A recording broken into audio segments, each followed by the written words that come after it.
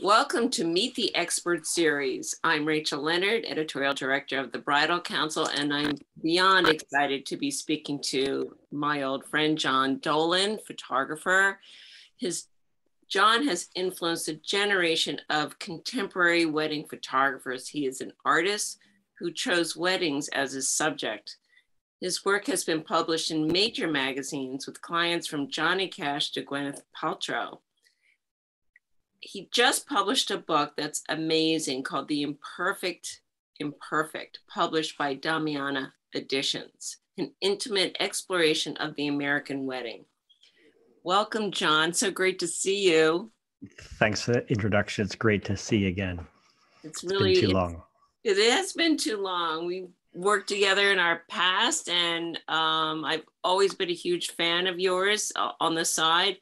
I'll never forget uh, Darcy Miller of of of Martha Stewart wedding said she she wasn't going to book her wedding till she had you as your photographer. So that's like the ultimate compliment. So John, as an artist, you are one of the game changers in the wedding industry. Describe your philosophy of taking pictures. Um, uh, my main philosophy is to photograph what it felt like at the wedding rather than what it looked like. So the I, am not a uh, precise photographer. I'm a person who can feel the beat of a wedding, feel the pulse, feel the emotion, and my real goal is to bring back pictures that you look at in 20 or 30 years and uh, you can feel that night and the music you can hear it you can smell it uh, so i'm trying to capture that ephemeral element that exists at a wedding uh, and then disappears the next morning. It's always kind of an extraordinary thing that weddings only exist for that one moment. Uh, so my job is to capture that, almost bottle it. It is. I was just going to say it's like a perfume. yes, exactly. Very emotional. Uh, your pictures and they're um, soul searching, and you tell the truth about a wedding, whether it's good or bad. Tell me about tell me about the title of the book and the book itself. So, uh, the, the title of the book is "The Perfect Imperfect," and it's it's really talking about um, that life is complicated, marriage is complicated, and the the range of emotions in most wedding pictures is quite narrow. Excuse me. So, I've tr- I've seen over the last thirty years that weddings have a lot more depth to them and a lot more layers. And the best pictures that ring true are the pictures that are slightly off kilter, slightly unguarded. So, you know, I used to compare two frames next to each other, the kind of straight shot and then the more emotional picture. And the more, uh, the less perfect picture often told uh, the truth and hits you in a different part of your uh, of your soul. So they're it's not just blurry pictures or shooting fast. It's it's trying to capture that uh, that one glance or that uh, moment that wasn't so choreographed. Uh, so that's always been my approach to to collect Im- images rather than direct them.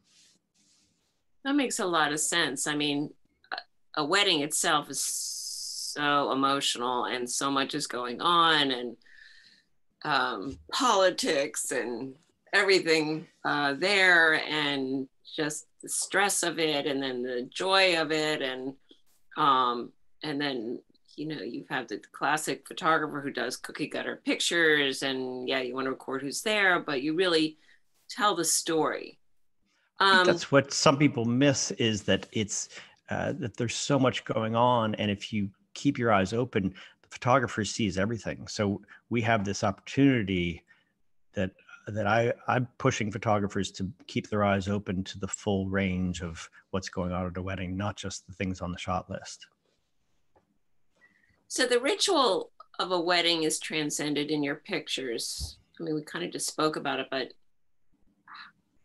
I guess we just just answered that how basically how how that is. Well, well, I think that um, it's a funny thing in America that we don't have that many rituals that we celebrate. We have the Fourth of July, we have Super Bowl Sunday, we have you know graduation or bar mitzvah, but uh, weddings are kind of unique and I think I see a lot of people who are slightly uncomfortable at weddings that they're not used to giving speeches or they're not used to the emotions coming to the surface. So it's it's fascinating to photograph people who are thrown off by the solemnity of it. You know, you think it's just going to be a party, but all of a sudden it gets very real. It does exactly. It does get very real once you're going through it and it's it's a, it's an incredible thing. No matter how many weddings I go to, I always get teary eyed. Um, tell me, do you interview the couple? Are you selective with your couples? I thought once you told me that you know they didn't you didn't feel like they were really in love with each other. Tell me about your selection.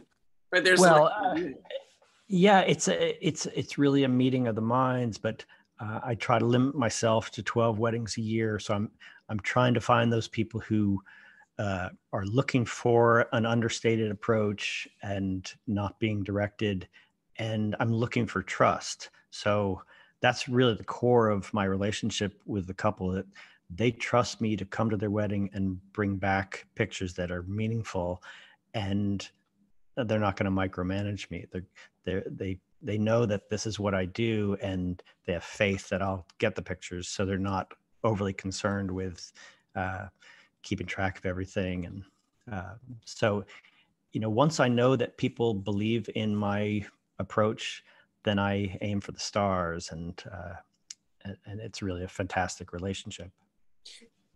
Do they hire a second photographer or do you hire a second photographer to do the shot list and you do the emotional you know, that's it's an interesting thing that's changing a little bit in Indian industry. Some wedding planners know that I'm not a detail person, mm-hmm. so they'll bring a detail photographer for an hour before the reception to do the tables and things. and I think that's fantastic. Uh, big weddings over 200, I'll bring a second shooter, but I love the intimacy of just going by myself and sitting at uh, the cousins table or you know getting to know people in a different way. And i'm shooting from the inside rather than the outside. So you blend in more with the crowd more with the yes than over the, here and get in their way and yeah. The best compliment i ever got was when somebody came over to me and said who are you a cousin? Like, that's like, perfect yes that's yeah yeah um, so, what are some of the challenges of shooting a wedding?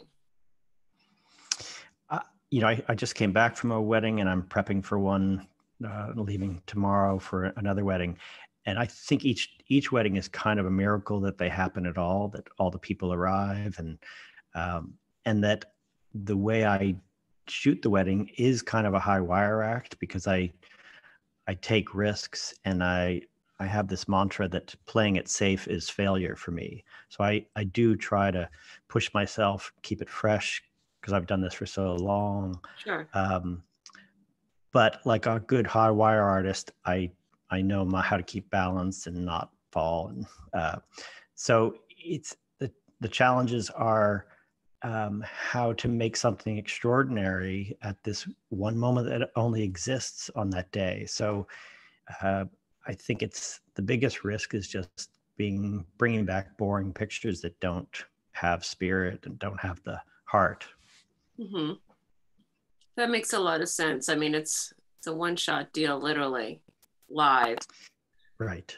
Um, and what do you find is the most rewarding part? Uh, with with most of my clients, certainly the ones who are in New York or in the area, six weeks, seven weeks after the wedding, I meet in person with them and I un- unveil the pictures. I give them a box of prints, and I that unveiling process is unbelievably rewarding because they don't know what's in the box, and um, the process of waiting six or seven weeks makes that anticipation. So, you know, they're looking at these pictures, and I think a lot of things come flooding back to them, and you know just watching people relive their wedding is is incredibly rewarding and it's almost like the pictures solidify their memories that mm-hmm. have been kind of waiting to solidify. You know people get a lot of iphone pictures. Right. Yeah it's it's we are we, we remember things because of photographs these days and uh, so i take that responsibility seriously. And do you so you shoot alone and do you use film? Do you use digital? What do, how do you shoot? I use both. I use film uh, i use digital when the light gets kind of less dreamy. Um, digital's really good in in low light and um, but I still I've always been a film photographer since our magazine days, and uh, I can load a camera fast, and the richness of film is is really central to my work. So uh, I love it. Thank you so much. It was such a pleasure to see you again and to uh, discuss your work. And everybody, go out and buy your book. Where's your book available? Um, I, I'm sure Amazon has it. I'm sure bookshop.org has it, or DamianiEditions.com has it as well. And bookstores around the country should be having it in the next couple weeks. It's been slightly delayed by the shipping delays, but it's on coming a container. it's arrived. oh my goodness. Yeah. Well, okay. Thank you so much, John. Great to see you. Great to see you, Rachel. Thanks.